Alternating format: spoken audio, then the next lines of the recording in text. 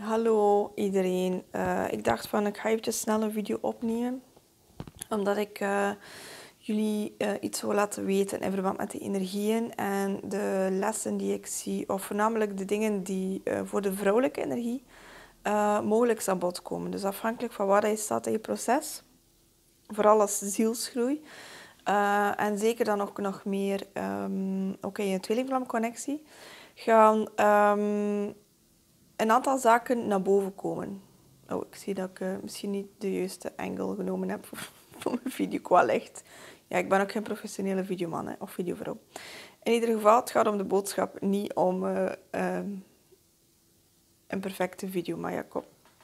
Maar dus, de, wat ik merk, um, en wat ik zelf gisteren um, heel onverwacht uh, tegenaan gelopen ben, om te transformeren natuurlijk, en nu vanmorgen uh, werd me ook duidelijk wat er eigenlijk ook gaande is. Dus wanneer je in een tweelingvlamconnectie zit, dan leer je om je hart te gaan openen, om die onvoorwaardelijke liefde um, doorheen jouw lichaam te laten stromen, om via jou als lichaam, als kanaal, jij als ziel, uh, ook naar anderen toe te laten uitstromen. En daar zitten er al heel veel angsten uh, rond. Um, want we zijn gewoon dat wanneer dat iets... Um, um, heel geweldig lijkt of heel magisch lijkt, dat het uh, vroeg of laat weer gaat afgenomen worden. En dat is net nu het stuk die um, nu de laatste dagen getriggerd en getoond wordt, dat we uh, in het verleden, in vorige levens, waarin dat we wel samen waren uh, als een koppel met onze tweelingvlam, en daarin de, was het eigenlijk niet altijd nodig dat we bewust waren op het moment dat we tweelingvlammen waren. Want vaak ben je ook samen geweest met je tweelingvlam zonder dat je wist dat je elkaars tweelingvlam was. Omdat je ziel op dat moment nog niet klaar was voor de lessen waar je nu doorheen gaat. Um, en er zijn ook levens geweest, voornamelijk in Lemurie en in tijden van Atlantis, waarin dat je als tweelingvlammen samen geïncarneerd bent met het volledige bewustzijn dat jullie tweelingvlammen waren en met behoud van alle uh, talenten, gaven en uh, gebruik van energieën, manifestatietechnieken, seksuele alchemie en al die dingen. Um, en daar gaat het niet zozeer over die levens, want daar waren we wel heel bewust. Maar het gaat voornamelijk over de levens waarin dat we samen waren met onze tweelingvlam als een romantisch koppel. En dat we door het leven, door 3D-dingen, door oorlog, door wat dan ook, door ziekte, um, de andere tweelingvlam verloren zijn. Dus door dood, door de fysieke scheiding. En dat is inderdaad hetgeen waar ik gisteren doorheen gegaan ben, waar, waar, waarbij dat bij mezelf heel diep verdriet, verdriet, verdriet naar boven gekomen is. Om te gaan healen. Niet alleen voor mezelf, maar ook voor mijn tweelingvlam. Want ook daar is belangrijk om dat te gaan healen, om dat te gaan transformeren. Waarom? Wanneer dat je samenkomt in eenheid, fysieke eenheid, en die angst is nog niet volledig getransformeerd, of dat sluimert nog onbewust in jullie een, bij jou of bij je tweelingvlam, en dus vaak in beiden, dan gaat dat ervoor zorgen dat die angst nog steeds een invloed geeft op jullie connectie. En dus waardoor je niet volledig kan overgaven of overgaan of je overgeven aan, dat is beter, um, aan die diepe onvoorwaardelijke liefde. Waarom? Omdat je schrik bent, schrik hebt dat het jou weer zal afgenomen worden. En uh, dat, dat ligt ook aan de basis van heel veel patronen en relaties. Wanneer dat we merken dat dingen moeilijker gaan, dan gaan we die mensen, of die, onze geliefden of onze partners, gaan we die gaan afstoten. Uh, dat is ook het stuk waar dat die bindingsangst ook vaak aan ligt. Van oké, ik ga me niet binden, want als ik me eraan bind, of ik geef me er volledig aan over, en plots zegt die persoon van, ik voel het niet meer en ik ben weg, dan dat we zo diep gaan gekwetst zijn en het echt in de steek gelaten worden. Dus ook hier zit ook weer die verlatingsangst. Dus zie hoe dat die zaken um, allemaal samenhangen. Verlatingsangst, bindingsangst, um, angst om eigenlijk echt diep te gaan liefhebben en echt die onvoorwaardelijke liefde te gaan omarmen zoals dat ze echt bedoeld is. Dus um, ik zou zeggen, kijk voor jezelf ook eventjes uh, hoe dat je daar zelf in, in staat, welke patronen dat je misschien herkent in vorige relaties. Want afhankelijk van... Ik ga eventjes wisselen van hand. Ik ben weer niet slim geweest, maar kom. Um, um, afhankelijk van wat, welk werk dat je allemaal gedaan hebt en wat je allemaal aangekeken hebt, gaat dat stuk nu in deze tijd ook weer naar boven komen. Dus ik heb dat getransformeerd voor mezelf, uh, voor mijn tweelingvlam. Uh, en ik voel ook voor heel veel uh, collectief gezien.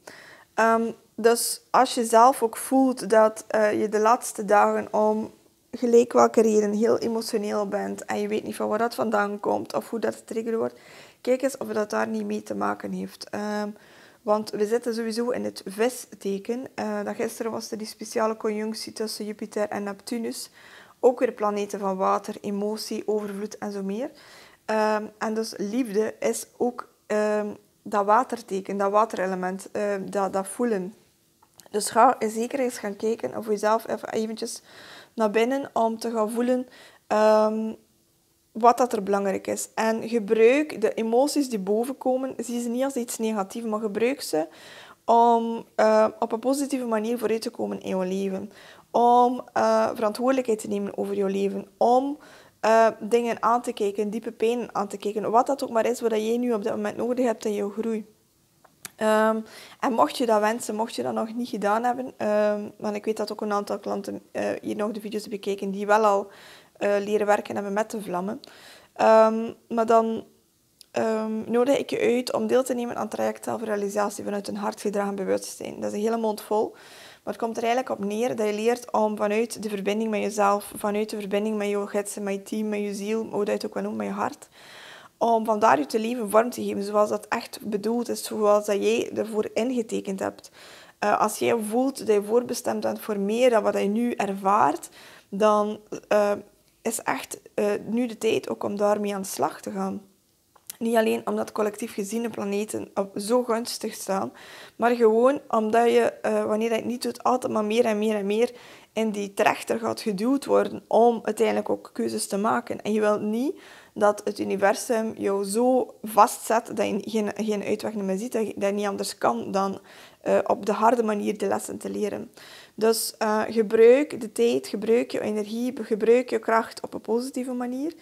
Um, en weet dat de verandering die nu, waar je nu voorheen staat, waar je nu voor staat, dat dat misschien lastig lijkt, ook al als je niet weet waar dat het jou gaat brengen, maar dat dat wel de stap vooruit is om um, Um, om, om je leven op een positieve manier gaan vorm te geven. Om jezelf te gaan realiseren in dit leven. En dat betekent dus dat je jezelf gaat gaan neerzetten. Dat je jezelf gaat gaan tonen op een authentieke manier. Voor heel veel tweelingvlammen en lichtwerkers. Dat je echt in die missie uiteindelijk gaat gaan stappen.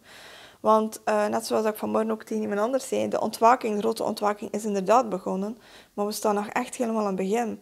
Dus denk niet en val niet in de kuil van... Um, in de valkuil van um, uh, het idee te hebben van er zijn al zoveel uh, therapeuten en er zijn al zoveel healers en er zijn al zoveel dit of dat. Nee, jij bent hier met jouw unieke missie en jouw unieke taak.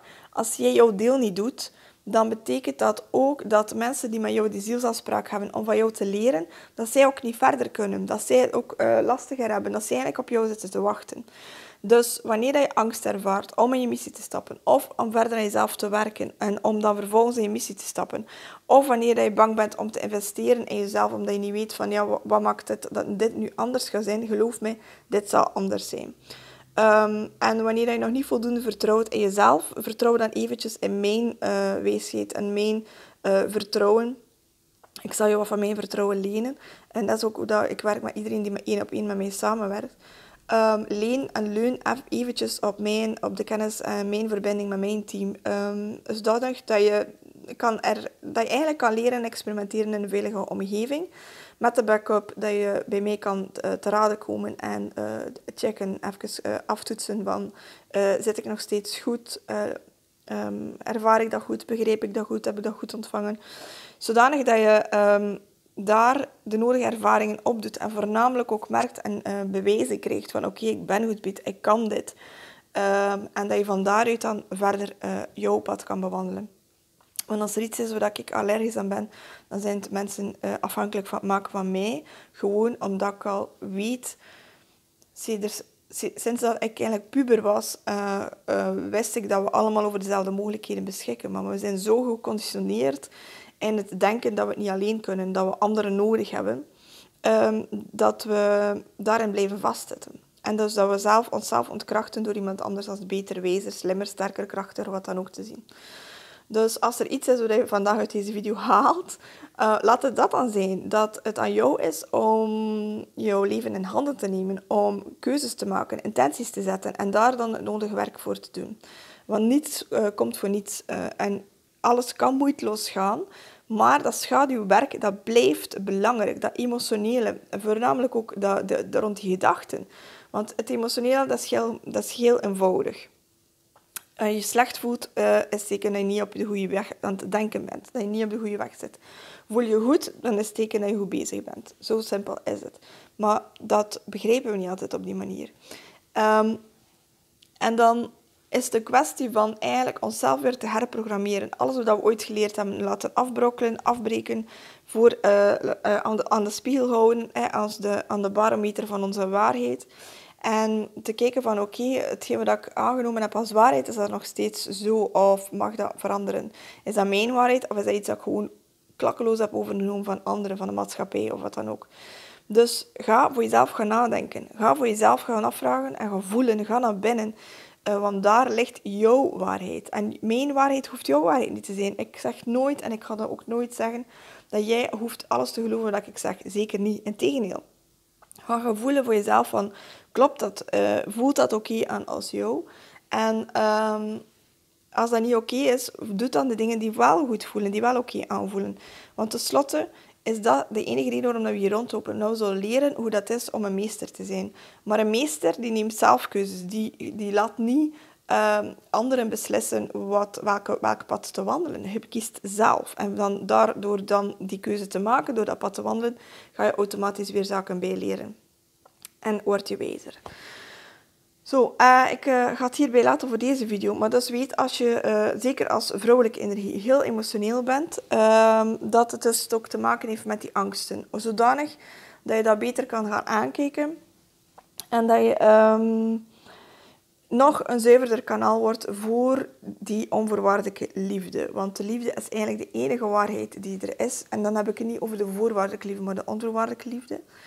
Um, en dat is uiteindelijk eh, ook het ultieme doel. Terugkeer naar de liefde, terugkeer naar de blauwdruk. Want als blauw, onze blauwdruk is er een van de liefde, onvoorwaardelijke liefde. En zuivere energie. En dat is dan eigenlijk ook de diamantenenergie waar ik uh, heel vaak mee samenwerk.